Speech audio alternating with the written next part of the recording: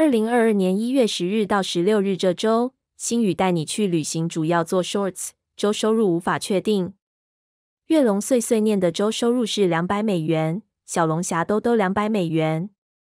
二十一世纪房车网的周收入是两百六十美元，阿克在路上两百八十美元，流浪霸王温暖三百美元。杨旭游记的周收入是三百三十美元，环华十年三百六十美元，穷游世界我们的骑行三百六十美元。用青春去旅行的周收入是三百九十美元，爱旅行的巧克力四百一十美元，Bruce 房车走遍美国四百二十美元。三十个旅行频道中的第十八名，户外旅行阿峰，周收入四百三十美元。第十七名，旅行者小多，周收入四百九十美元。第十六名，万一有一天，周收入五百美元。